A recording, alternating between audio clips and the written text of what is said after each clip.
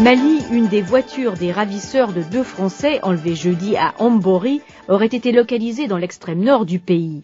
L'enlèvement des deux hommes a été suivi vendredi par la mort d'un Allemand à Tombouctou, tué par des hommes armés qui ont également enlevé trois autres touristes européens.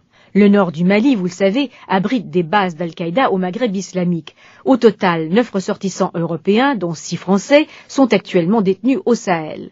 Le point avec Alain Charret, rédacteur en chef de la revue en ligne Renseignor. Effectivement, une voiture qui aurait appartenu aux ravisseurs a été retrouvée par les Maliens dans le nord du Mali, ce qui pourrait laisser penser que les ravisseurs aient pris la direction de l'Algérie. Par contre, d'autres sources sécuritaires maliennes indiquent que le groupe se serait scindé en deux et qu'une partie aurait pris la direction du Burkina Faso. Maintenant, euh, quant à l'action des militaires français à proximité, voire en territoire algérien, cela semble assez peu probable, car les relations déjà avec Alger ne sont pas très bonnes. Il y a toujours le souvenir de l'ancien passé colonial, et je vois assez mal les militaires français intervenir euh, directement en territoire algérien, d'autant que les militaires algériens, eux, sont également capables d'intervenir et de prêter main forte, justement, comme ils devraient le faire à leurs collègues maliens. Dans le cas où le groupe euh, se serait scindé en deux, est-ce que ça voudrait dire, par exemple, qu'ils auraient pris une partie des otages dans une région, une autre dans une autre région, afin de brouiller les pistes en quelque sorte?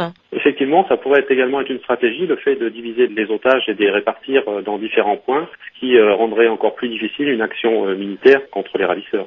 Dans le cas où l'Algérie devait intervenir, hein, si un groupe était passé donc sur le territoire algérien, est-ce que là finalement ça serait l'occasion, disons, pour elle qu'elle puisse intervenir d'une manière efficace? Parce qu'on sait que les autres pays lui reprochaient en quelque sorte dans cette lutte hein, contre le terrorisme et autres de ne pas agir suffisamment. Il est vrai qu'on reproche à l'Algérie le fait qu'elle n'intervienne pas plus qu'elle le fait actuellement. Actuellement, elle intervient surtout dans son territoire et laisse un petit peu de côté ses alliés maliens, nigériens et mauritaniens alors que l'armée algérienne a beaucoup plus de moyens que les autres armées.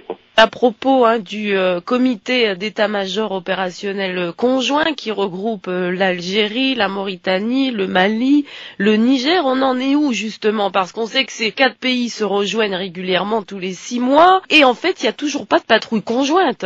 Il est vrai que le CEMOC semble un, échec et on peut dire que justement les dernières prises d'otages là euh, laissent penser que ce comité est en fait un échec et ne fonctionne pas correctement. Il est vrai que l'Algérie semble traîner des pieds. C'est également elle qui a refusé que le Maroc euh, participe alors que bon, il pourrait être aussi concerné. Il y a vraiment que l'armée malienne et mauritanienne qui, malgré le petit moyen, interviennent quand même puisqu'on a vu la Mauritanie intervenir en territoire malien avec l'autorisation de Bamako. Là, euh, actuellement, il y a énormément d'otages entre les mains des ravisseurs. Alors est-ce que ça veut dire plus de moyens encore. On parle quand même de neuf ressortissants européens en tout. Il est vrai qu'il y a une reconnaissance des prises d'otages, qu'on se retrouve avec euh, presque une dizaine de ressortissants européens euh, enlevés et, retenus par des ravisseurs euh, vraisemblablement proches d'Al-Qaïda au Maghreb islamique. C'est certainement une des conséquences de la crise libyenne où on a vu revenir dans leur pays, au Niger, au Mali, des combattants qui avaient combattu aux côtés des troupes loyales à Kadhafi et qui sont revenus avec armes et bagages. Ça peut être également une stratégie. il ne faut pas oublier que doit débuter ces jours-ci à Alger le procès de deux frères d'un des leaders les plus radicaux d'Al-Qaïda au Maghreb islamique. Donc le fait de détenir des otages occidentaux pourrait être un moyen de pression euh, sur Alger euh, pour euh, être plus clément lors de ce procès. Alain Charret de la revue Renseignor était joint à Nice en France par Nathalie Barge.